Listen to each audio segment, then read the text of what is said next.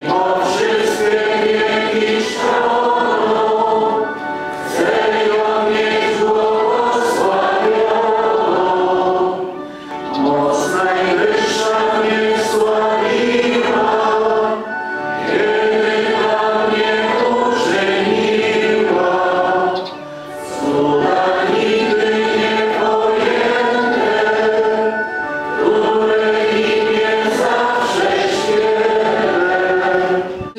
dał do zrozumienia, iż ludzie mimo popełnionego grzechu nie stali się źli z natury.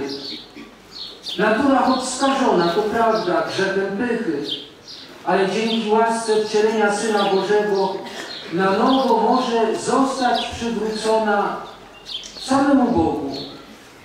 Na nowo może stać się tym samym życiem, które nosi w sobie Bóg, miłością spełnienie zapowiedzi o potomku niewiasty, a także poczęcie tego dziecięcia pod sercem Maryi i rozpoznanie obecności na ziemi jest dzisiaj, moi drodzy, źródłem naszego świętowania, bo my przywołujemy rokrocznie tę scenę nawiedzenia.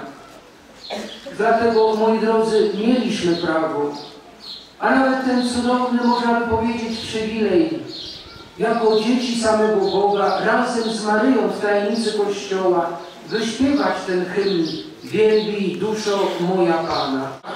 Od pokoleń przychodzimy na to cudowne miejsce, można by powiedzieć i w prastarej chełmińskiej diecezji i w tej naszej, toruńskiej.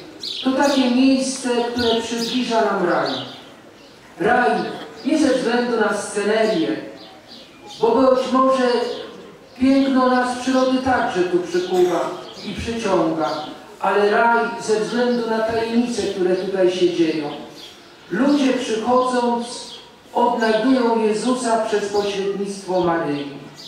Przychodzą, aby dziękować za dar zbawienia, aby wielbić Boga i Jego Matkę, która dała światu pogromcę szatana. A więc tutaj rzeczywiście jest raj, raj na ziemi.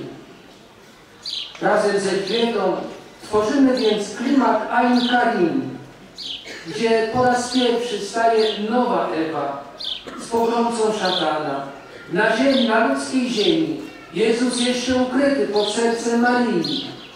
Tak jak jest i dziś ukryty w tajemnicy Kościoła, w znakach sakramentalnych, w Słowie swoim, ale także i w naszych sercach, moi drodzy.